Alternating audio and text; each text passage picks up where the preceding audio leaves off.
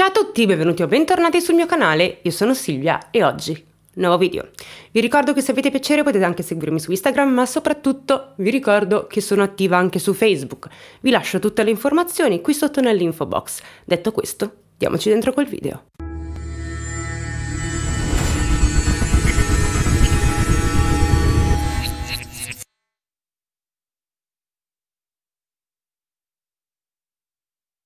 Oggi sono qui per raccontarvi un caso tristemente noto e ancora attuale. Non è chiuso, ma ci sono degli indagati. Vi parlerò del triste caso di Saman Abbas. Siamo a Novellara, un piccolo comune di campagna poco distante da Reggio Emilia. Qui Shabbar Abbas, il padre di Saman, si trasferisce dal Pakistan per lavorare come agricoltore ormai 15 anni fa. Nel 2016 prende la decisione di portare in Italia anche la sua famiglia formata dalla moglie, Nazia, e due figli. Per Saman, che ha 13 anni, trasferirsi in Italia e poter studiare in una scuola italiana è un vero sogno. Quando inizia il suo percorso scolastico nel nostro paese, la ragazzina viene inserita in terza media e passa all'esame finale, dimostrando di aver acquisito conoscenze adeguate e una buona padronanza della lingua italiana. Eddie Pavarini, ex vicepreside della scuola media Lelio Orsi, che accolse Samani il primo giorno dell'anno scolastico, ha commentato: Un'impresa mica semplice. Sono tanti i bimbi stranieri che non ce la fanno, arrivano qui senza alcuna conoscenza dell'italiano. La donna racconta orgogliosa del progetto di accoglienza per scolari stranieri, che serve a superare problemi pratici anche di una certa importanza. Secondo l'insegnante, infatti, tanti genitori faticano a capire che le figlie hanno il diritto di studiare musica, fare ginnastica, andare in gita e poter sedere accanto al compagno di banco maschio. Giovanna è una ragazzina sveglia, impara l'italiano in pochissimo tempo, apprende in fretta e vorrebbe continuare a studiare. Ma suo padre non vuole iscriverla alla scuola superiore. Nonostante le continue insistenze della ragazzina, desiderosa di imparare sempre di più, non le viene permesso di continuare il percorso accademico. Lo conferma anche il datore di lavoro di Shabbar, Ivan, col quale Saman si è confidata in un momento di tristezza. La ragazza ha spiegato ad Ivan che lei vorrebbe frequentare la scuola superiore, sa di avere le capacità necessarie per andare al liceo. Purtroppo a Novellara il liceo non c'è. Saman dovrebbe andare in una città vicina tutti i giorni, spostandosi con i mezzi pubblici. E per suo padre questo è già un ottimo motivo per tenerla a casa. La ragazza Sa che suo padre è molto apprensivo, ma d'altronde tutti i ragazzi della sua età vanno al liceo e si muovono con i mezzi per raggiungere le varie scuole. Quindi, mentre i suoi coetanei vanno a scuola, Saman passa le giornate chiuse in casa, accanto ai campi di angurie e di meloni. La giovane sta sempre con sua madre e raramente le due vengono viste fuori. Non vanno neanche a fare la spesa, ci pensano gli uomini a fare tutto. Passano quattro anni, ma la situazione per Saman non migliora. La vita che sta vivendo non è per niente la vita che immaginava quando era arrivata in Italia. Anzi, a dirla tutta, le cose per lei si stanno mettendo parecchio male. Alla fine di ottobre del 2020, quando è quasi maggiorenne, Saman denuncia i genitori e prende contatto con gli assistenti sociali, rifiutando il progetto di matrimonio combinato che i due avevano per lei. Il piano dei genitori è di portarla in Pakistan e farle sposare un suo cugino di terzo grado. Saman però è ancora minorenne. Quindi scatta il provvedimento di allontanamento dalla casa familiare e la ragazza viene portata in una comunità che possa garantirle sicurezza e protezione. Per Roberta, l'assistente sociale che da subito ha seguito Saman, che tra le altre cose l'estate precedente aveva già provato ad allontanarsi da casa, mostrando il disagio che provava per la situazione, questa diciottenne voleva iscriversi al liceo, era cocciuta e determinata e in grado di realizzare i suoi sogni. Per concretizzare queste aspirazioni la ragazza decide di riprendersi i documenti rimasti in possesso del padre, carte indispensabili per girare e varcare frontiere, magari autonomamente, dopo aver preso la patente di guida. E per questo motivo su uno dei suoi account social segue due profili. Il primo, quello di un giovane pakistano, e il secondo, e più importante, quello di un centro specializzato nell'aiuto ai migranti per la gestione delle pratiche automobilistiche con sede a Verona. Però quello di Saman non è un percorso facile e probabilmente la ragazza non è neanche così consapevole perché sono passati solo quattro mesi. L'11 aprile Saman si allontana senza dire nulla agli operatori della comunità e torna a casa dai genitori. Solo che ora Saman è maggiorenne, ha compiuto gli anni il 18 dicembre e ha postato un brevissimo video su TikTok in cui si riprende solo le sneakers che ha ai piedi mentre cammina nel centro di Bologna lungo la via Ugo Bassi. Quelli che si vedono nel video sono passi allegri e sanno di libertà per la giovane, uscita per qualche ora dal centro protetto nel quale era stata trasferita pochi giorni prima dopo essersi opposta al matrimonio combinato imposto dal padre. Ma per riavere la sua carta di identità la ragazza lascia quel centro protetto e decide di fidarsi dei genitori. Gli assistenti sociali avvisano immediatamente le forze dell'ordine dal momento che a carico della famiglia ci sono dei provvedimenti per cui loro non possono avvicinare Saman. Il 5 maggio i carabinieri bussano alla porta di casa Abbas per verificare la situazione, ma i genitori di Saman non ci sono. Sono partiti all'improvviso sabato 1 maggio. Saman non c'è. In casa si trovano solo il fratello minore e uno zio. Anche loro però, come dei cugini che vivono a 300 metri dall'azienda agricola, nel giro di qualche giorno partono. Il titolare dell'azienda agricola Bartoli ha cercato di rintracciare Shabbar per chiudere alcuni depositi rimasti aperti, in vista di un'ondata di maltempo. Ma il telefono risulta irraggiungibile. Dopo diversi tentativi, il datore di lavoro è riuscito a parlare con un parente, il quale ha riferito che la famiglia è dovuta rientrare in patria perché una zia non stava bene. Questo è stato il campanello di allarme che ha fatto scattare le indagini, anche perché il nome della ragazza non figura in alcuna lista di imbarco agli aeroporti. Ma c'è un pericolo effettivo in famiglia? Saman ha paura di suo padre? Dalle relazioni in possesso dei carabinieri e raccolte tra la residenza nel bolognese e gli uffici comunali di Novellara non risulta che Shabbar Abbas l'abbia mai picchiata. Uno degli investigatori del reparto operativo reggiano guidato da Stefano Bove ha però osservato che è un fatto che l'uomo fosse indagato per costrizione o induzione al matrimonio, procedimento pendente davanti al Tribunale dei minori e per il quale la pena prevista può arrivare anche a 5 anni. È impressionante tra l'altro fare un confronto tra l'account Instagram di Saman con interazioni sostanzialmente inesistenti, oltre al susseguirsi di video con brani musicali pakistani, e il profilo Facebook del padre con circa 2000 amici e dirette. Alcune di queste dirette sono inquietanti, come quella del 4 maggio, fatta dal suo paese. Quella ripresa sembra una specie di festa, salvo poi emergere che si tratta di una cerimonia funebre. Nella diretta si vede un gruppo di persone, solo uomini, attorno a un tavolo con un telo bordeaux con incisi dei versi del Corano. Normalmente questo telo viene utilizzato per coprire il corpo del defunto, che però in questo caso non c'è. Ma se il defunto non c'è, di chi è il funerale? A distanza di qualche giorno, Shabbar cancella il video proprio quando, in Italia, i carabinieri iniziano a cercare il corpo della ragazza. Sono scattate le indagini per omicidio. Ma non finisce qui. Sui social di Shabbar ci sono altre immagini vicino al figlio sedicenne, un ragazzo dall'aria allegra. L'uomo, però, non si è mai mostrato accanto alla moglie e alla figlia. Figure del tutto invisibili nella sua vita social, come invisibile è stata la vita di Saman nel casolare della tenuta agricola, dove lavorava la grande famiglia degli Abbas. Il sindaco di Novellara, Elena Carletti, fa un appello alla diciottenne. Se per caso hai timore di tornare a casa, non averne, ti aiuteremo così come abbiamo fatto mesi fa. Le ricerche della ragazza sono ormai in corso da una decina di giorni. Il provvedimento di sequestro dell'abitazione di via Colombo è datato 14 maggio 2021. I carabinieri si sono recati a casa Abbas proprio per notificare un atto a Saman, ma, come già vi ho detto, non l'hanno trovata. La bicicletta che solitamente il padre utilizza è ancora appoggiata al muro dell'abitazione. Il comandante della stazione di Novellara, Pasqualino Luffrano, decide quindi di avviare le ricerche.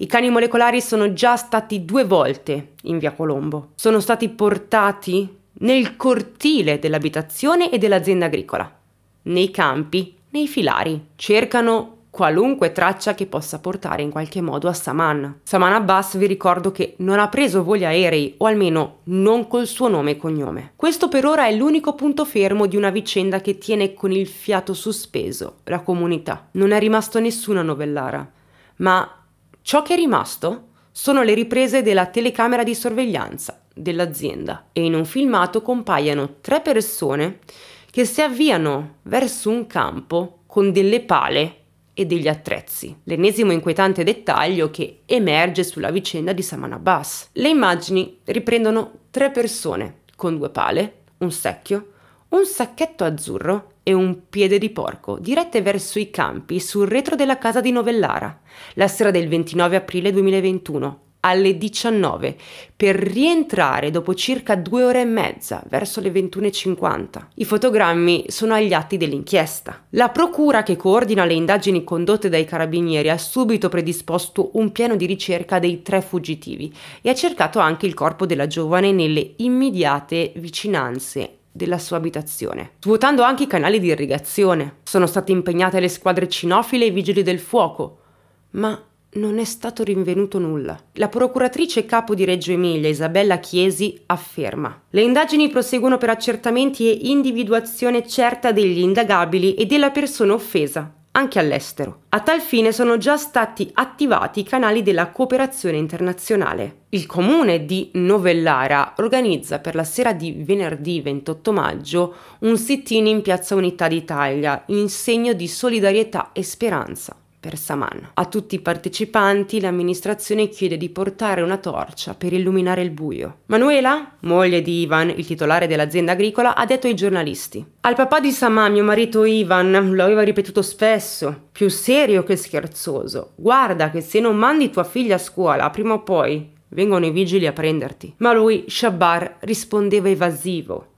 una volta sostenendo che la ragazza già seguiva lezioni online di un istituto pakistano, un'altra dicendo che le scuole qui vicino non fossero adatte a lei, ma che stavano comunque pensando a dove iscriverla. Ora, d'improvviso, scopriamo che erano tutte balle, e poi no, non sapevamo nulla del matrimonio che a Samani era stato imposto con un cugino che vive in Pakistan.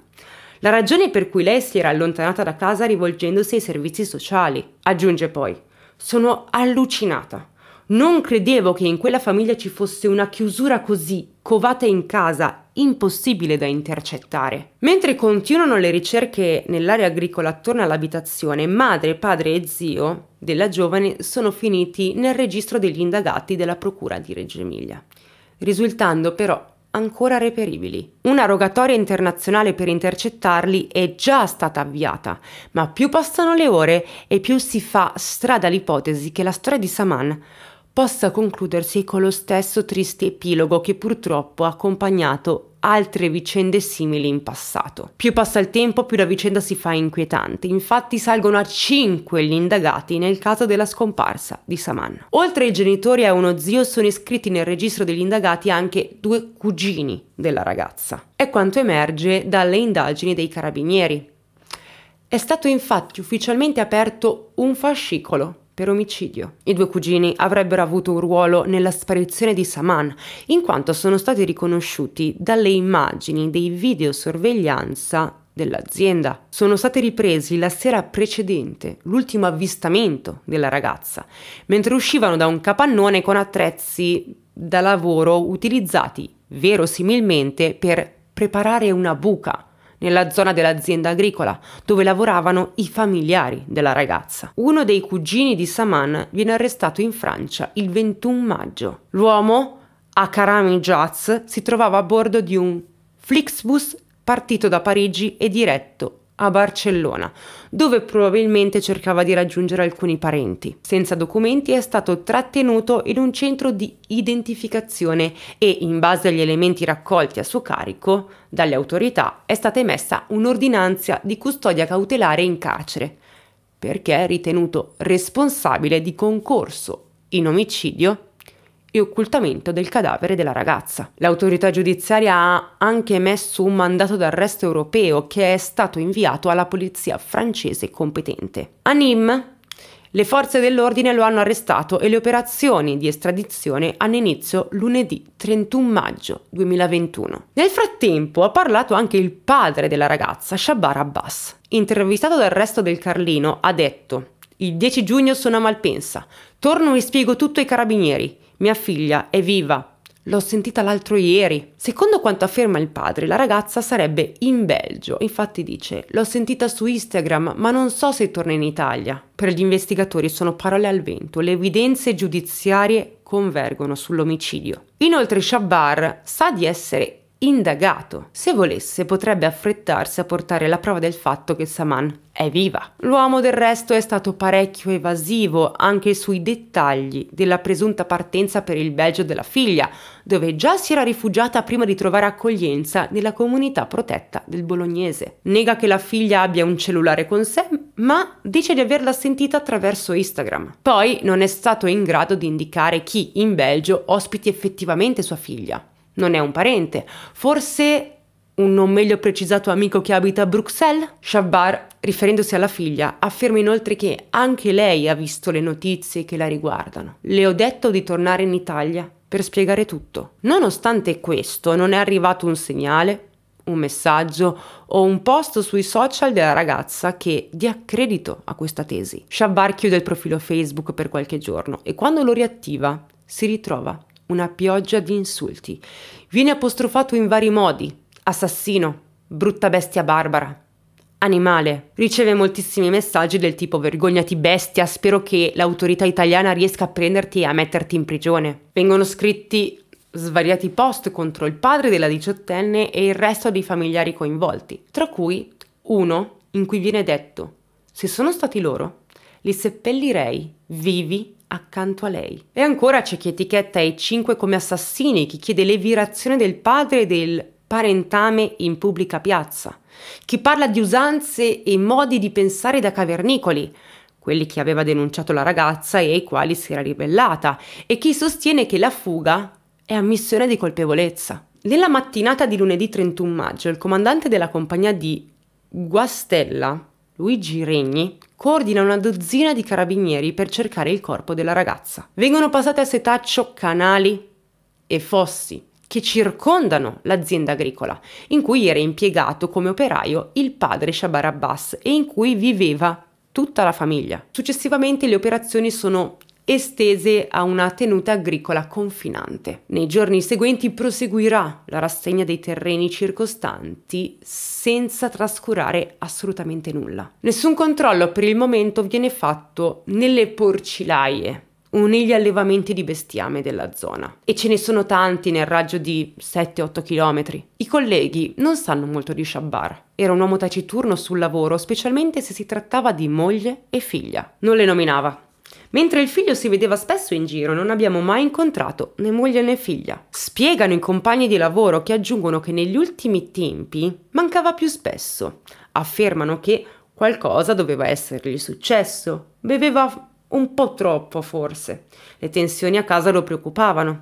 Si vedeva che era inquieto. La voglia di parlare è poca nel casolare che ospita da un lato lo spaccio di prodotti agricoli e dall'altro l'appartamento in cui viveva la famiglia Bass. Il primo giugno 2021 emerge un nuovo video negli atti della procura di Reggio Emilia. Il filmato mostrerebbe la ragazza che esce di casa con alcuni degli indagati, il padre, la madre, lo zio e i due cugini, per non fare proprio più ritorno. È l'ultima volta in cui è stata vista viva. Il viottolo sterrato lungo il quale Saman Abbas sarebbe stata accompagnata verso la morte dai genitori Shabar e Nazi corre parallelo alla strada provinciale che va verso Guastalla e il Po. Sembra che gli abbiano detto vai dallo zio. L'uomo, Danish, aspettava la ragazza al termine della stradina e proprio nelle vicinanze l'avrebbe uccisa. Il cadavere della giovane sarebbe stato nascosto da qualche parte, forse sotterrato, gettato in una porcilaia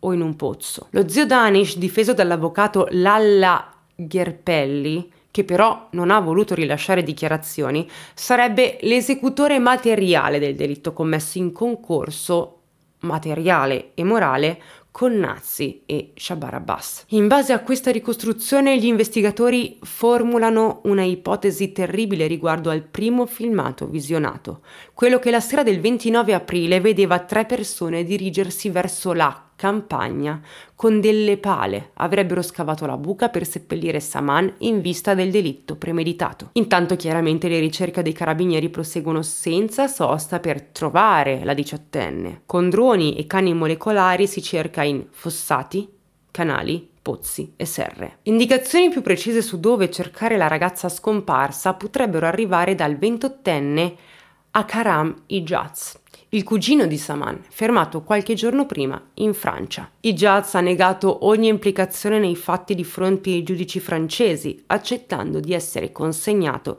alla giustizia italiana per poter chiarire di essere innocente. Ai carabinieri però dovrà spiegare cosa ci facesse con le pale in mano nel video che lo riprende con il cugino e lo zio Danish la sera del 29 aprile. Il 4 giugno 2021 emerge che Saman aveva un fidanzato segreto. Si tratta di un connazionale ventunenne conosciuto sui social e che vive in Italia. Il giovane è già stato ascoltato dai carabinieri e ha fornito elementi importanti per l'inchiesta sull'uccisione di Saman. Sembra che il ragazzo abbia detto di aver ricevuto minacce dal padre della ragazza, anche se non è chiaro se queste minacce gli sono state rivolte direttamente o sono arrivate dai racconti della situazione fatti dalla stessa Saman terrorizzata. Quel che è sicuro è che le parole del giovane rafforzano ulteriormente la pista del delitto maturato in famiglia, come sospetta la procura che ha indagato ben cinque persone. Quanto al fratello sedicenne della ragazza, che si trova in un centro protetto, sembra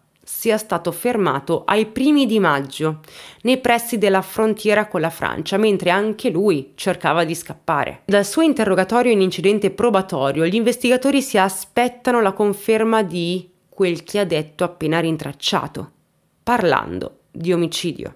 Che Samana avesse un fidanzato conosciuto mentre stava nel centro protetto nel bolognese per essersi opposta al matrimonio combinato, gli Abbas lo sapevano. Lo ha raccontato un connazionale di Saman intervistato al TG2. La ragazza si era confidata con il coetaneo in una chat online, raccontandogli delle minacce di morte ricevute dal padre per essersi opposta al matrimonio. Il fidanzato di Saman racconta ai carabinieri che già due anni prima Saman si era opposta a un primo matrimonio combinato dal padre con un parente in Pakistan. Voleva denunciarlo, ma poi non lo aveva fatto, forse troppo giovane per affrontare quello che sarebbe potuto succedere. Ma il rifiuto al matrimonio combinato allora era stato tassativo. Il ragazzo della giovane è un suo connazionale ventunenne, residente in Italia ma lontano dall'Emilia, conosciuto sui social nel 2019. Una storia d'amore portata avanti dai due ragazzi, soprattutto restando in contatto costante sui social. Ma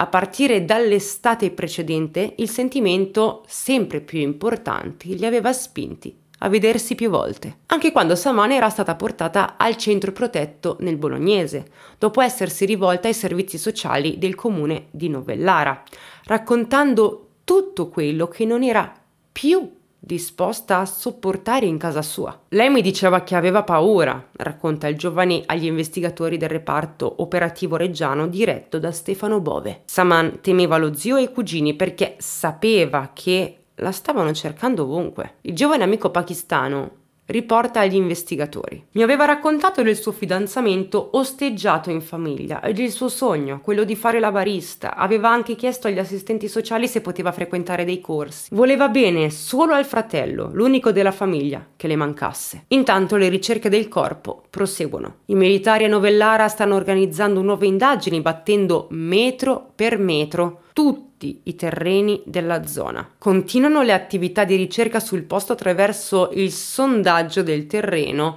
con carotaggi in preparazione del successivo intervento delle unità cinofile. Il comando dei carabinieri afferma verrà impiegata la tecnologia dell'elettromagnetometro per una più approfondita scansione del sottosuolo. Questo strumento si spera possa superare le difficoltà incontrate con l'impiego degli altri strumenti a causa della composizione chimica del terreno. Il fratello di Saman è trattenuto in una casa famiglia, in quanto bisognoso di protezione e minorenne.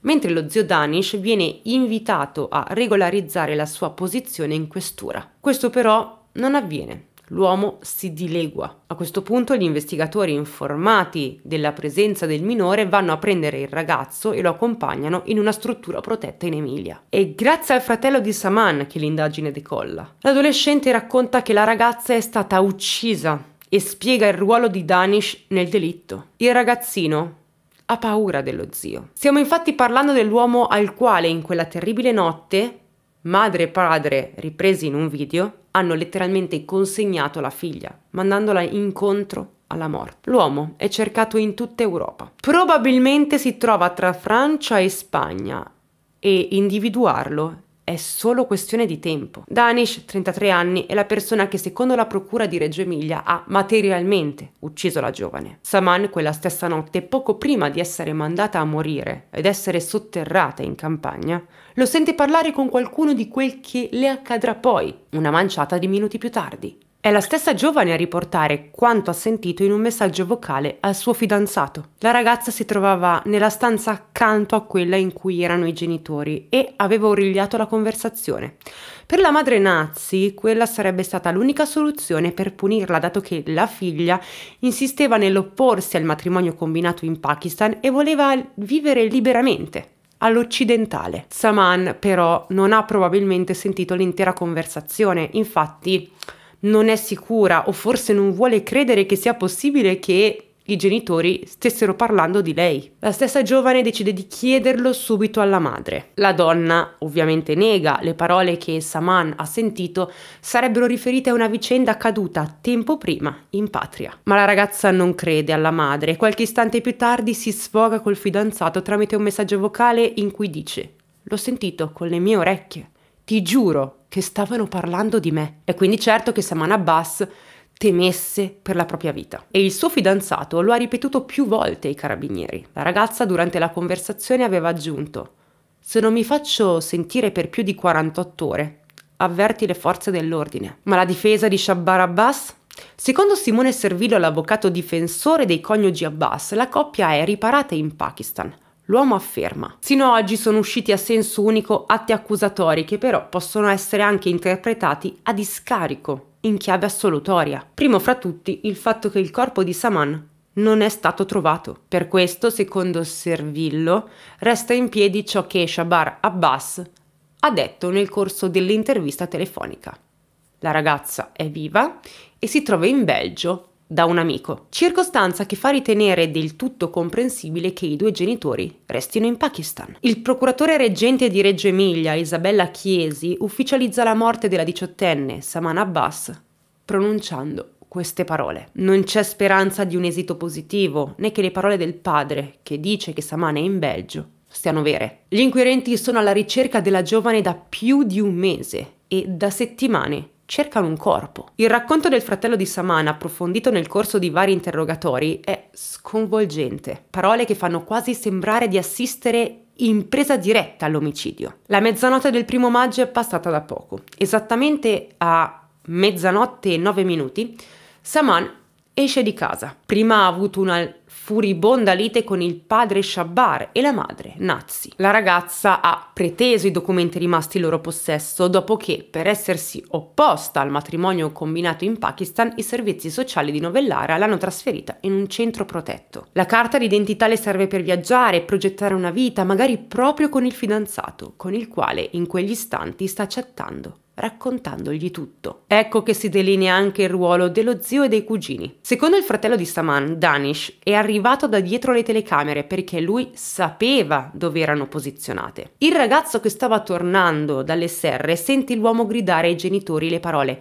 Andate a casa! Ora ci penso io. Il ragazzo ha poi continuato il suo racconto. Mio padre è rientrato a casa con lo zaino di Saman quello di color avorio che lei aveva sulle spalle quando è uscita. A questo punto lo zio ha detto a mio padre di portarlo in casa e di nasconderlo senza farlo vedere alle telecamere. Una volta rientrato, Shabbar si è sentito male e ha pianto. Era impossibile opporsi alla ferocia dello zio temuto da tutti gli Abbas. Se mio papà avesse detto ai carabinieri quanto avvenuto, lui ci avrebbe uccisi. Quando gli viene chiesto come ha fatto lo zio a uccidere la sorella, il sedicenne spiega. A me non l'ha detto.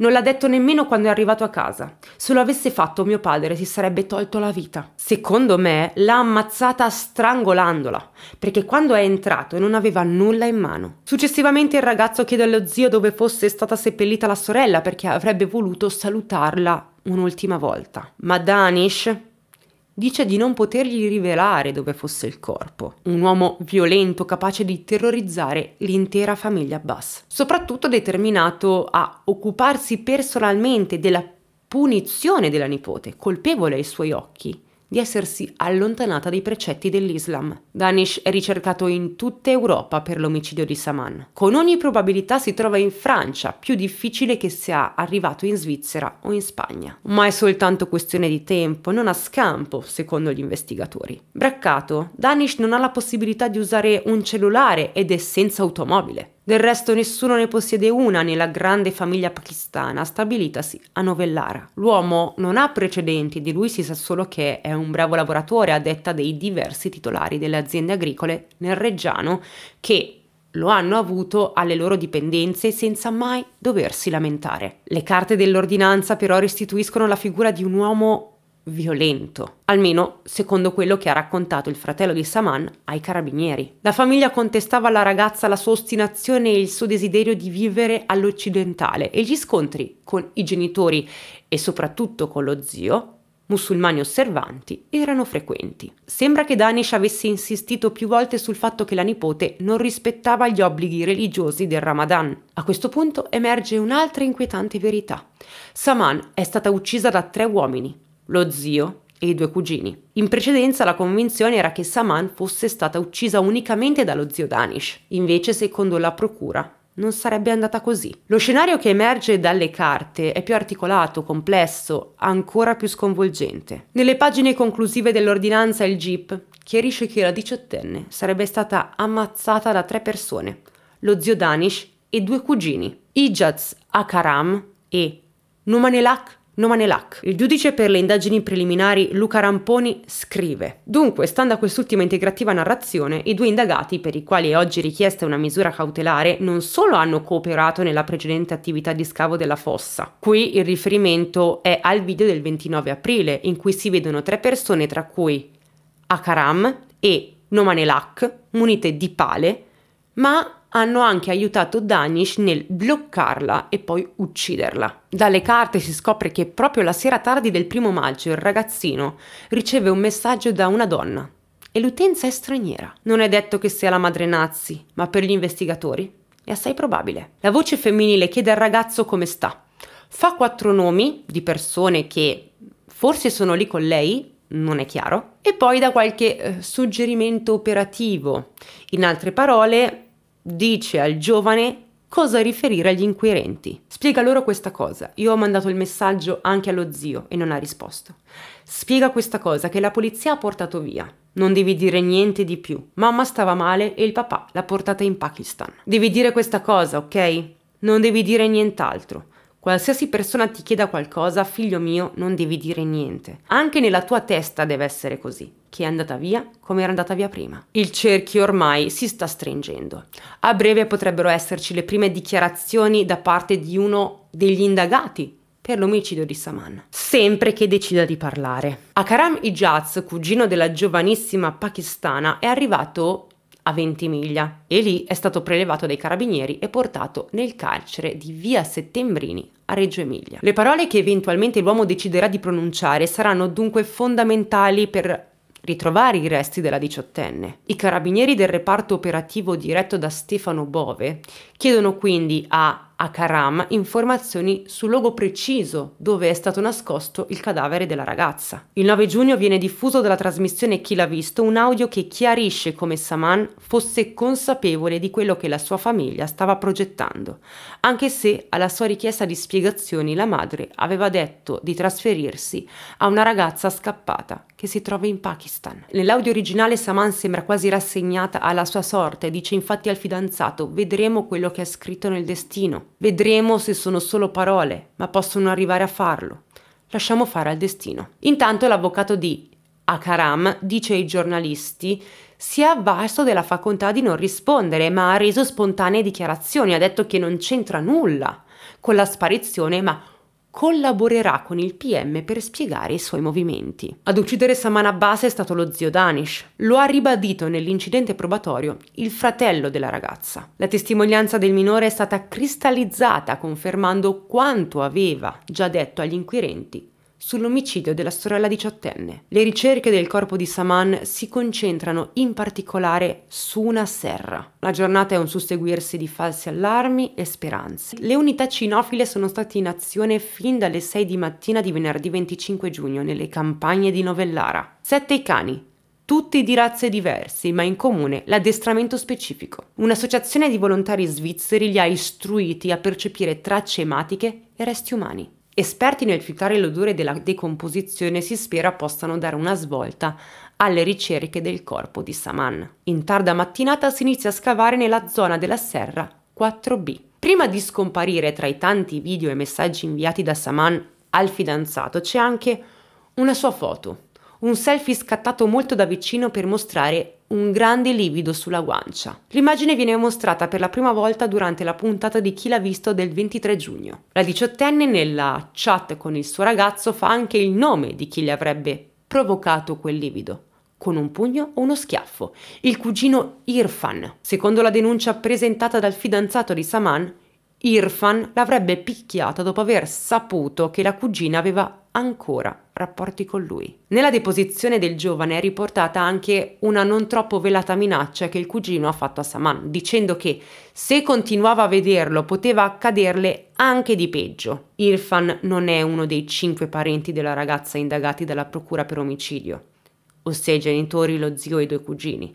Non fa parte del gruppo di uomini armati di pala che si vedono nel filmato in bianco e nero acquisito dalla procura e ha sempre smentito ogni coinvolgimento nella vicenda. Insomma, sembrava estraneo al cerchio di parenti che, secondo gli inquirenti, sono responsabili dell'omicidio della ragazza o che ne sono in modi diversi complici. E il numero degli indagati è destinato ad aumentare. Irfan ha detto all'inviato di chi l'ha visto di aver solo aiutato i genitori di Saman a procurarsi un biglietto per il Pakistan in un'agenzia. Ho fatto un favore al padre che mi chiedeva di acquistare un biglietto per la moglie. Dopo la partenza ha affermato di non averli più sentiti e di avere vergogna a parlare con loro per la cosa grave che hanno commesso. Ma dopo la denuncia fatta dal fidanzato di Saman, nei cui atti figura la foto con l'echimosi provocata dal cugino Irfan, l'inviato di chi l'ha visto torna da Irfan, che ancora una volta ha ribadito di essere estraneo alla vicenda. Non sono stato io. Non so perché ha fatto il mio nome. Non so nulla, lasciatemi in pace. Però Saman ha allegato nel messaggio al fidanzato, oltre alla foto del livido, anche il numero telefonico del cugino. E dai riscontri fatti dall'inviato della trasmissione il numero corrisponde a quello dell'intervistato. Ma non è tutto. Sempre nella denuncia presentata dal ragazzo di Saman si legge che questo cugino e altri parenti connazionali si sono presentati a casa della famiglia Bass il 26 aprile e sono rimasti lì fino al 4 maggio. Saman è stata uccisa secondo gli inquirenti il 30 aprile. Quindi questi parenti sarebbero stati presenti proprio nei giorni in cui si decideva e poi si eseguiva la condanna della ragazza. Una domanda sorge spontanea. Perché erano lì? Forse per controllare che lei non uscisse di casa? E dopo il delitto? Irfan continua a negare perfino di essere stato a casa Bass in quei giorni. Quel che è certo è che il cerchio di parenti, soprattutto uomini, che ha circondato Saman per piegarla a fare qualcosa che non voleva e poi a ucciderla, sembra allargarsi ogni giorno. Oltre che nell'area dell'azienda agricola Bartoli, Ora il corpo di Saman viene cercato anche in un boschetto al di fuori della proprietà di via Colombo a Novellara. La procura nel mentre ha chiesto un incidente probatorio per sentire il fidanzato di Saman. Si tratta del secondo dopo quello fatto con il fratello minore della ragazza. La PM Laura Galli vuole raccogliere la testimonianza del ragazzo per cristallizzarla come prova ai fini del processo. Il giovane era detestato dalla famiglia di Saman, dalla quale pare abbia ricevuto minacce e pressioni affinché interrompesse la relazione. L'obiettivo della procura è acquisire agli atti del processo la sua testimonianza relativa alle ultime ore di vita di Saman. quando, con messaggi precisi e circostanziati, la ragazza gli ha raccontato il clima che si stava respirando in casa sua. All'inizio del mese di luglio il Ministero della Giustizia dispone l'inserimento dei coniugi Abbas nella banca dati Interpol il che equivale ad una richiesta di arresto provvisorio ovunque si trovino. Una volta individuati o arrestati dalle autorità di polizia locali, il Ministero della Giustizia può inoltrare la domanda di estradizione. A chi l'ha visto, Sakib, il fidanzato di Saman, mostra quello che doveva essere l'abito da sposa della ragazza. Sakib e Saman avevano infatti già acquistato insieme negli otto giorni trascorsi a Roma, oltre al vestito per lui, un anello, altri gioielli, vestiti e scarpe per la cerimonia. Nel frattempo il Tribunale del riesame di Bologna ha deciso di rigettare le richieste degli avvocati difensori di Akaram Ijaz. Il cugino di Saman resta in carcere. Il 12 luglio si arriva ad una brutta conclusione. Saman Abbas non c'è. I resti della giovane scomparsa ormai da due mesi e mezzo non sono nelle serre di Novellara. Le ricerche che proseguivano ininterrotte da 67 giorni nella coltivazione di campi di angurie della famiglia Bartoli, dove la famiglia Bass lavorava e viveva, vengono sospese. Il 25 luglio emerge che il cellulare di Saman Abbas è in mano agli inquirenti. È stato sequestrato lo scorso 7 giugno nel Frusinate, presso il domicilio del fidanzato della ragazza, Sakib. La ragazza ha trascorso qualche giorno col fidanzato nel Lazio, poi è tornata a Novellara per prendere i documenti lasciando a Sakib il telefono per paura che in casa le venisse sequestrato. Evidentemente a Novellara Saman utilizza un altro dispositivo, dal quale ha inviato proprio al fidanzato il messaggio del 30 aprile esprimendo preoccupazione per gli inquirenti poco dopo è stata assassinata. Al giallo della scomparsa di Saman si aggiunge un altro enigma che gli inquirenti, al lavoro da mesi, dovranno sciogliere. Chi era la coppia marito e moglie che nei giorni prima della sparizione della diciottenne pakistana era ospite a casa della famiglia Bassa Novellara? Il compito dei due era sorvegliare la ragazza per evitare che fuggisse di nuovo dal futuro che la famiglia aveva programmato per lei. Durante l'udienza Sakib ha dato nuove informazioni agli inquirenti, confermando i sospetti. Il cugino della fidanzata ancora impegnato nell'azienda agricola, quello che l'avrebbe schiaffeggiata lasciandole un livido sul volto, il 26 aprile ha portato nel casolare in cui vivevano gli Abbas due persone una coppia, marito e moglie, incaricati di sorvegliare la giovane per evitare nuove fughe. Saman ha quindi passato giornate con gli occhi puntati addosso, rimanendo in contatto con il fidanzato attraverso un altro cellulare, forse quello della madre. Chi fossero i due coniugi che ruolo abbiano avuto nelle ultime ore di Saman è ancora da definire. Alla fine del mese di agosto il fratello minore di Saman riporta agli inquirenti quanto sentito il pomeriggio del 30 aprile in casa. Durante una riunione a cui hanno partecipato lo zio Danish e altri parenti, si è parlato delle modalità con cui far sparire il cadavere di Saman, smembrandolo. Il giovane riporta le parole dello zio Danish. Ha detto: Io faccio piccoli pezzi se volete porto anch'io a Guastalla. Buttiamo là, perché così non va bene. Lo zio di Saman Abbas, Danish, viene arrestato mercoledì 22 settembre, verso le 10, alla periferia di Parigi. L'uomo è stato bloccato dalla polizia francese in esecuzione di un mandato di arresto europeo, rintracciato in collaborazione con i carabinieri del nucleo investigativo di Reggio Emilia. I carabinieri sono riusciti a rintracciarlo grazie a qualche indizio arrivato dalla sua presenza sui social, dove continuava ad avere profili fake. Nel mandato di arresto europeo sono riportati device e IP che hanno consentito agli investigatori di individuare l'indirizzo presso il quale si nascondeva l'uomo. Non aveva documenti con sé quando è stato controllato, ma a tradirlo è stato un particolare sul volto.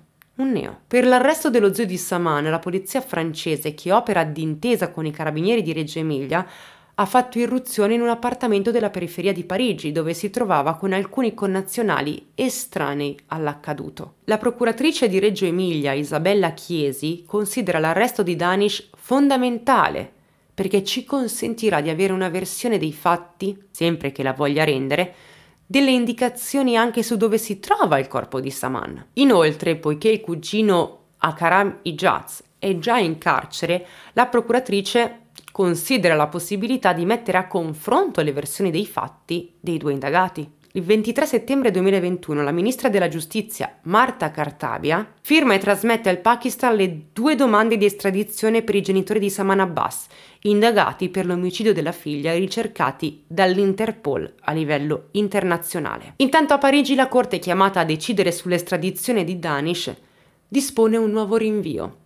Slitta tutto al 5 gennaio 2022 e nel frattempo l'Italia è chiamata a fornire ulteriore complemento di informazioni sulle modalità di applicazione di un'eventuale condanna all'ergastolo dello zio di Saman. Una richiesta avanzata dai legali di Danish che la Corte ha accolto. È la quarta udienza in cui Parigi vaglia la situazione ed è il quinto rinvio. Prima di questo ci sono stati gli appuntamenti del 29 settembre e del 20 e 27 ottobre. Il 5 gennaio Danish, zio di Saman Abbas, rinuncia ad opporsi all'estradizione dalla Francia in Italia. Lo comunica lui stesso ai giudici della Corte d'Appello, colti di sorpresa dal momento che per tre mesi L'uomo si è opposto all'estradizione. Appena avuta la parola, Danish ha detto: Non mi oppongo, non serve a niente che io resti qui. Non posso parlare con mia moglie, non ho neppure soldi per telefonarle. Preferisco tornare in Italia e spiegarmi. Il 20 gennaio Danish è finalmente in Italia. Viene immediatamente portato nel carcere di Reggio Emilia. Ora si apre un altro capitolo, quello decisivo. Capire se e in quale modo Danish sarà utile alle indagini e se collaborerà. Nell'interrogatorio davanti al GIP Luca Ramponi, concluso dopo meno di due ore e mezza, Danish sostiene di essere stato incastrato per una questione di soldi e terreni. Fuori dal carcere, proprio la sua legale ha detto che Danish si dichiara all'oscuro di cosa possa essere accaduto a Saman, proprio in considerazione degli ottimi e affettuosi rapporti che aveva con la nipote. Ha ritenuto plausibile che si fosse allontanata volontariamente. E inoltre, pur senza voler accusare nessuno, ventila la possibilità che il fratello di Saman abbia fatto le dichiarazioni a suo carico spaventato e condizionato dal padre Shabbar, anche in considerazione di un potenziale vantaggio di natura economica che deriverebbe dalla sua condanna. In Pakistan, infatti, i due fratelli sono comproprietari di un terreno e qualora lui fosse condannato, la proprietà spetterebbe di diritto a Shabbar. Per questo l'indagato ha chiesto aiuto al PM perché indaghi e chiarisca la situazione. Ha risposto a tutte le domande con coerenza e tranquillità e la sua voce non è mai risultata turbata. Anche alla domanda relativa al video che lo ritrae con pala e pede di porco insieme a due cugini, l'uomo ha detto che erano andati a fare dei lavori nell'orto. Entro pochi giorni emergono nuovi dettagli su Danish che, durante l'interrogatorio di garanzia, si è dipinto al jeep di Reggio come uno zio affettuoso, in completa antitesi col ritratto di un assassino. Nel corso dell'udienza, durata più di due ore, l'uomo ha affermato che c'era già stata una cerimonia di fidanzamento col cugino in Pakistan, con scambio di gioielli e acquisto di mobili, che la nipote però non voleva trasferirsi in patria e Danish l'aveva rassicurata, dicendole che il marito si sarebbe trasferito nel Reggiano con lei e che la famiglia avrebbe controllato che si comportasse bene. Successivamente Saman eh, si è innamorata, per davvero, ma di un uomo scelto da lei e si è ribellata pubblicamente al fidanzamento voluto dai genitori. Il 14 febbraio 2022 la polizia di Barcellona arresta Noman el Haq, Noman el Haq, su mandato di cattura europeo emesso dal GIP di Reggio Emilia per sequestro, omicidio volontario e occultamento di cadavere della cugina, Samana Abbas. Viene catturato in un appartamento in periferia già sotto osservazione da diverso tempo. Per il momento l'uomo che, dopo l'arresto, ha rifiutato la consegna all'Italia rimane quindi in carcere preventivo in Spagna. I reati contestati all'accusato potrebbero comportare una condanna all'ergastolo, una pena non prevista nell'ordinamento spagnolo. L'ok del giudice iberico all'estradizione è soggetto alla condizione che l'autorità giudiziaria italiana accetti una revisione della condanna o l'eventuale applicazione di sconti di pena. Ma i genitori latitanti della giovane? L'ambasciata pakistana in Italia ha fatto sapere che c'è il nulla osta per la loro estradizione dal paese asiatico. Un sì alla richiesta formale avanzata in estate dal ministro della giustizia, Marta Cartabia. Affermazioni che però non spiegano spostano nulla dal punto di vista investigativo. Gli inquirenti reggiani sono pronti da tempo a partire subito per il Pakistan qualora invitati dalla polizia locale. Non hanno dubbi, infatti, che Shabbar e Nazi si trovino in patria, ma ecco che c'è ancora un'attesa vana, ancora un nulla di fatto. Non si è ancora arrivati a una vera e propria svolta per le indagini. Anche l'ultimo indagato rintracciato, Numan el Haq, Haq, estradato da Barcellona, non ha fornito per il momento indicazioni utili agli inquirenti. La mattina del 25 marzo si tira l'interrogatorio di garanzia necessario per avvallare anche in Italia la misura cautelare del carcere e l'uomo si avvale della facoltà di non rispondere alle domande del sostituto procuratore Laura Galli. Numan el Haq si è videocollegato dal carcere con l'aula presieduta dal GIP Luca Ramponi. Rilascia però una dichiarazione spontanea, secondo il suo avvocato, ha negato ogni addebito. Il 22 aprile 2022 c'è uno sviluppo nell'inchiesta sulla scomparsa di Saman. Dopo la notizia della notifica alla fine delle indagini preliminari, avvenuta il 29 marzo, il sostituto procuratore Laura Galli deposita richiesta di rinvio a giudizio per cinque persone. Nessuna sorpresa dunque, l'accusa chiede che i genitori, i due cugini e lo zio di Saman vengano processati per il suo omicidio per la soppressione del corpo, i cui resti non sono ancora stati trovati. Ora si attende che il Tribunale di Reggio Emilia fissi la data dell'udienza davanti al GIP, che deciderà del destino processuale dei cinque familiari della ragazza. Lo zio e i due cugini, dopo la latitanza, si trovano ora in carcere. Il padre e la madre della ragazza, invece, sono ancora latitanti in Pakistan. Dopo le ricerche, le indagini, le estradizioni e le riflessioni ad un anno della scomparsa, inizia il processo per trovare la verità su quanto accaduto a Saman Abbas. La data dell'udienza preliminare è fissata per il 17 maggio. Quel giorno il giudice del Tribunale di Reggio Emilia, Dario De Luca, deciderà se accogliere e in quale misura le richieste della Procura e se mandare e con quali accuse ha processo i genitori, lo zio e i due cugini di Saman Abbas. La fase preliminare del procedimento si chiude senza alcuna sorpresa. I cinque familiari di Saman Abbas vengono tutti rinviati a giudizio con l'accusa di sequestro, omicidio e soppressione del suo corpo. C'è silenzio da parte dei tre imputati presenti in aula. Si sono costituiti parte civile il fratello minore della ragazza, che è anche il principale teste della procura, il comune di Novellara e l'Unione dei comuni della Bassa Reggiana, l'Associazione Italiana Islamici e Penelope, associazione che si occupa delle persone scomparse. Il processo inizierà il 10 febbraio. Nel corso di una telefonata a un parente, l'8 giugno 2021, Shabbar Abbas, il padre di Saman, ha affermato chiaramente ho ucciso mia figlia. Gli inquirenti, procure e carabinieri di Reggio Emilia, sono sicuri sia stata assassinata perché rifiutava di sposare un cugino in patria. La conversazione è raccolta quando l'uomo era già fuggito in Pakistan e ha gli atti del processo a carico dei familiari della vittima. Nel corso della telefonata Shabbar ha poi detto per me la dignità degli altri non è più importante della mia. Io ho lasciato mio figlio in Italia, ho ucciso mia figlia e sono venuto, non me ne frega nulla di nessuno. E ancora, io sono già morto, l'ho uccisa io, l'ho uccisa per la mia dignità e per il mio onore. Noi l'abbiamo uccisa. Nel mentre emergono le fasi del delitto raccontate da uno degli indagati, i Jazz e un altro detenuto che a sua volta lo ha riferito alla polizia penitenziaria. Dichiarazioni che, secondo i carabinieri di Reggio Emilia, sono credibili solo in parte. Samanna è stata tenuta ferma dai cugini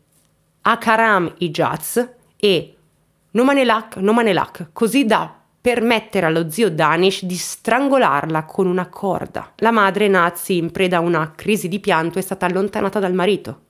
Shabbar Abbas. Ci sarebbe poi stato il contributo di un uomo misterioso che avrebbe aiutato a finirla, infilare il corpo in un sacco, caricarlo su una bici e poi, dopo averlo fatto a pezzi, gettarlo nel Po. Akarami Jaz è stato il primo ad essere catturato. Le sue confidenze sono state fatte in due occasioni e riassunte in annotazioni del 20 e del 29 ottobre 2021. Mentre nella prima, in cui il cugino di Saman ha riferito di non aver preso parte all'omicidio commesso dai parenti, ma di esserne venuta a conoscenza da Nomanelak, ci sarebbero elementi non veritieri e anche depistanti. Il secondo racconto è per gli investigatori più realistico, seppur con punti ritenuti fantasiosi. È possibile che l'uomo si sia corretto, anche dopo aver letto gli atti del fascicolo giudiziario, nel frattempo tradotti per aderire il più possibile agli elementi in possesso degli inquirenti, così da essere più credibile. Nel racconto annotato il 29 ottobre, Ijaz afferma che l'omicidio è stato organizzato dai genitori, in particolare dal padre, che non riusciva più a gestire la figlia. Quindi, secondo quanto raccontato da Ijaz, la sera del 30 aprile Shabbar ha chiesto alla moglie di fare una camminata con Saman nelle vicinanze della loro casa di Novellara. Lui le seguiva a poca distanza e una volta superate le serre, non è chiaro quali visto che nella zona ce ne sono diverse, le due sono state raggiunte dallo zio Danish, dallo stesso Ijaz e dall'altro cugino, Nomanelak. A quel punto gli uomini hanno bloccato mani e piedi della ragazza e la madre ha iniziato a piangere ed è stata allontanata dal marito. Danish ha strangolato la ragazza con una corda e il padre ha chiamato un altro uomo con il volto coperto da un passamontagna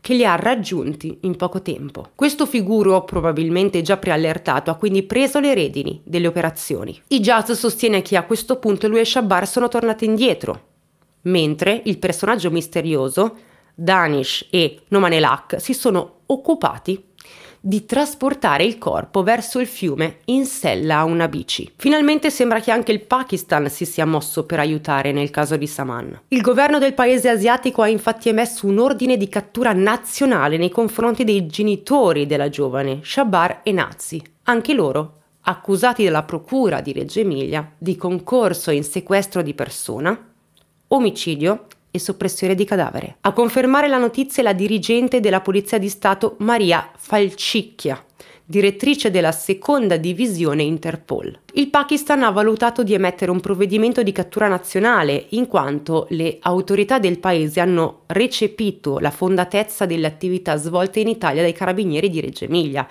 e dall'autorità giudiziaria supportata dai servizi di cooperazione di polizia. Martedì 15 novembre 2022 il padre di Saman, Shabar Abbas, viene arrestato in Pakistan per l'omicidio della figlia. Da un punto di vista tecnico, il provvedimento eseguito dalla polizia del Punjab è un arresto internazionale provvisorio esecuzione di un mandato d'arresto internazionale emesso dall'Italia, passato dall'Interpol e recepito dalla polizia pakistana. Significa cioè che le forze investigative di due paesi con l'Interpol a fare da tramite condividono lo stesso quadro accusatorio basato sulla contestazione di omicidio, ma lo stesso termine tecnico del provvedimento indica appunto la provvisorietà dell'arresto perché la scelta ora spetta allo Stato del Pakistan tramite un suo giudice o una sua corte.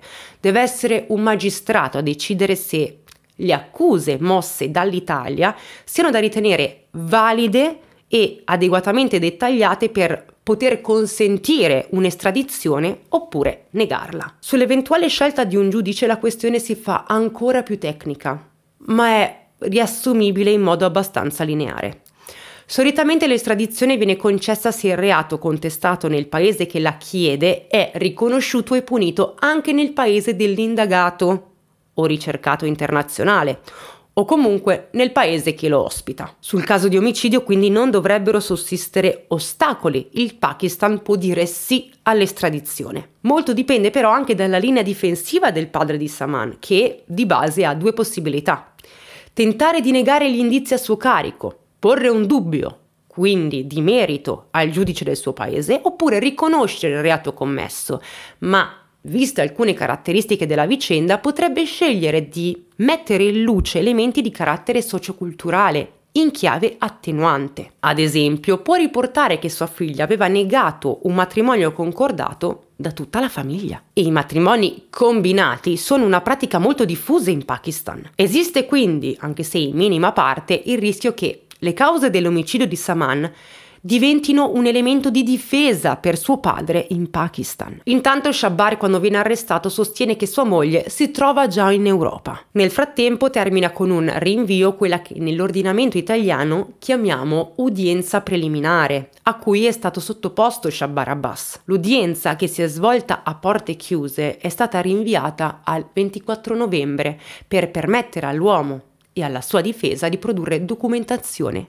e memorie. Si allungano quindi i tempi per una eventuale estradizione dell'uomo in Italia. Eventuale perché, nonostante sia stata richiesta ufficialmente dall'Italia nell'estate del 2021, non è detto che venga concessa in quanto tra il nostro paese e il Pakistan non esistono accordi bilaterali. A questo si aggiunge il fatto che Shabari in patria è accusato di frode ai danni di un connazionale. Intanto il 19 novembre Danish, ossia lo zio di Saman, indica il luogo in cui sarebbe stata seppellita la ragazza. In passato i carabinieri avevano già cercato senza successo in quella zona, ma ora in via Reatino, nelle campagne di Novellara, dietro l'abitazione in cui viveva Saman Abbas, sul retro di un rudere sono stati trovati resti umani che potrebbero appartenere proprio alla giovane. L'ultima latitante ormai è Nazi, madre di Saman, che ha ricoperto un ruolo da protagonista nella tragedia della figlia. E se da mesi si parla soprattutto del resto della famiglia, zio Danish, i cugini e il padre, ora la persona ricercata è proprio lei. Dalle carte si scopre che Danish ha incontrato in carcere il cugino Akaram, i due non si erano più visti dopo la fuga da Novellara. Provato dalla detenzione e ignaro di essere intercettato, Ijaz conferma all'uomo: Parlerò, giuro su Allah, parlerò, da nove mesi sono disonorato. E asserisce che se non dovesse riuscire più a sentire sua madre, si suiciderà. Danish replica dicendo: Prima avevo paura della prigione in Pakistan, ma adesso che è in carcere in Italia ammette di non avere detto tutto e potrebbe ripensarci. Poi ecco che si sente un'altra frase di Jazz, intercettata.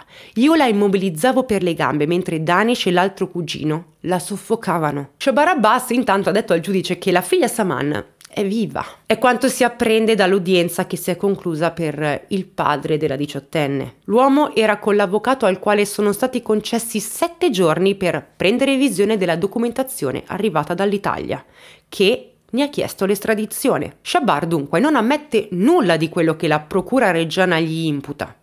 L'omicidio della figlia, in concorso con altri quattro familiari, aggravato dal ritrovamento di resti umani in un casale diroccato dietro la casa in cui la famiglia viveva a Novellara. Anzi, ribatte e rilancia con un'accusa assurda. Saman è stata rapita dai servizi sociali del territorio e ce l'hanno loro. Ancora una volta però ci si trova nel tunnel dei rinvii. La nuova udienza in Pakistan in programma per martedì 6 dicembre, che avrebbe potuto fornire novità sull'estradizione, non c'è stata.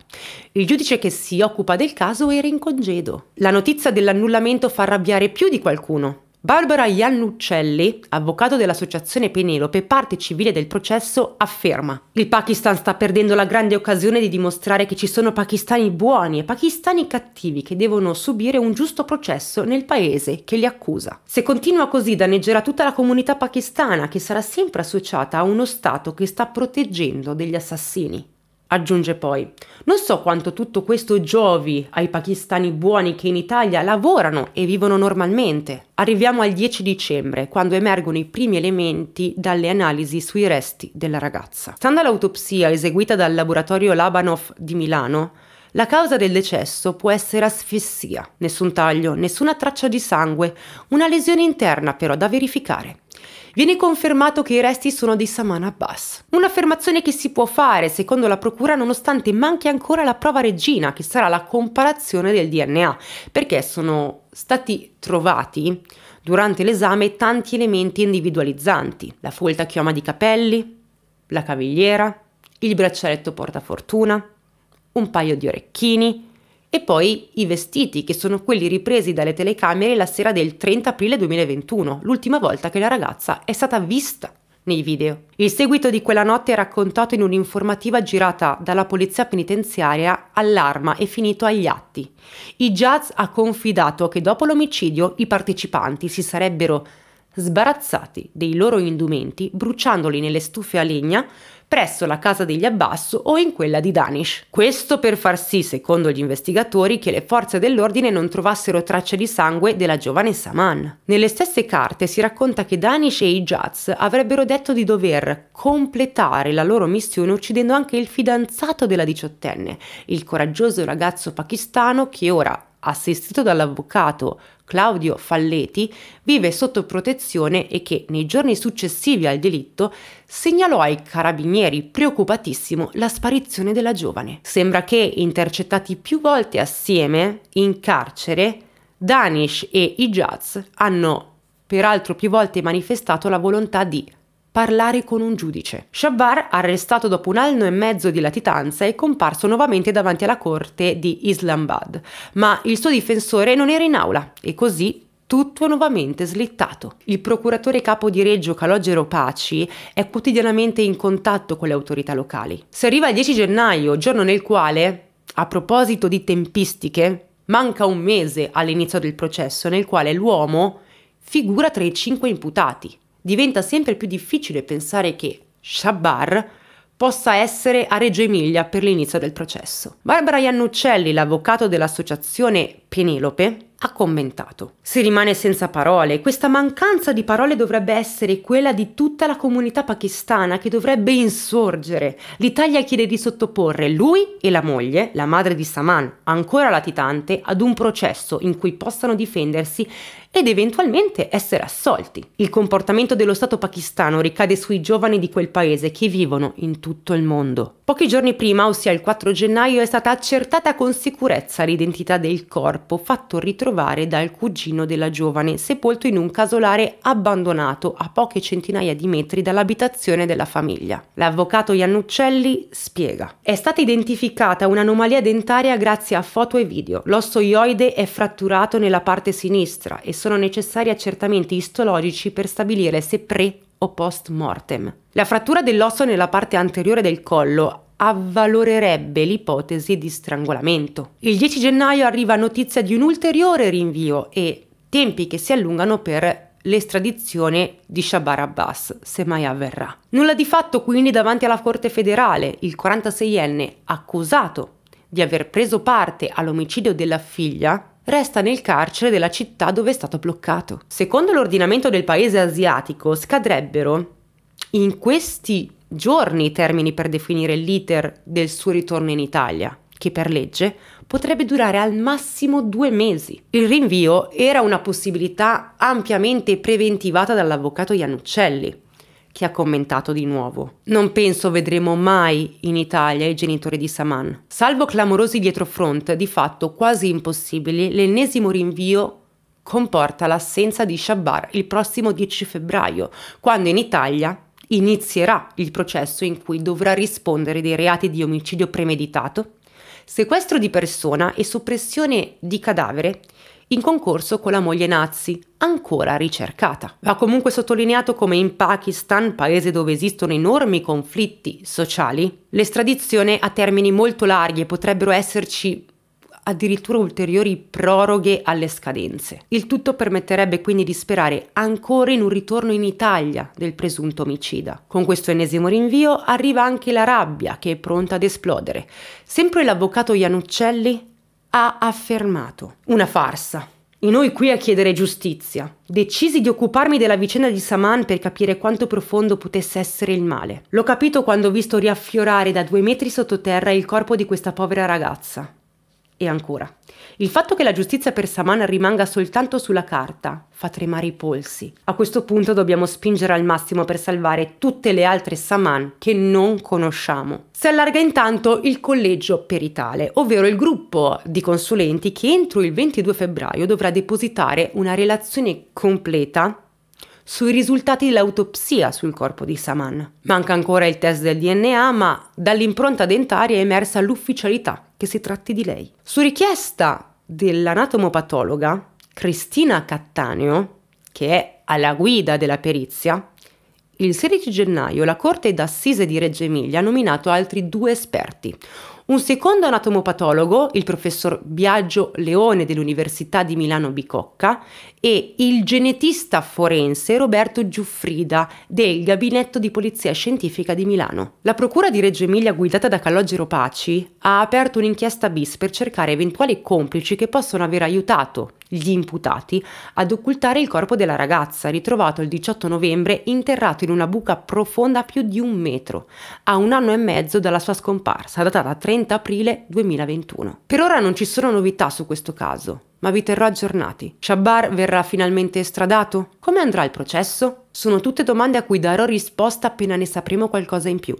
Intanto, attendo l'inizio del processo e spero che sia fatta giustizia per Saman. Detto questo, ho finito di parlare in questo video molto lungo, quindi vi ringrazio se mi avete seguito fino a qui. Fatemi sapere ovviamente cosa ne pensate del caso, immagino che lo conosciate tutti quanti, perché insomma è un caso di cronaca recente che non ha mai smesso di far parlare. Quindi fatemi sapere cosa ne pensate voi di questo caso, come al solito, come vi dico sempre, ci si becca qua sotto nei commenti. Io nel frattempo vi mando un bacione, noi ci vediamo prestissimo al prossimo video. Mi raccomando, fate i bravi, continuate a mangiare le verdure che continuano a far bene, ma soprattutto prendetevi cura di voi e fate ciò che vi rende felici. Basta che non facciate nulla di criminale. Ciao a tutti!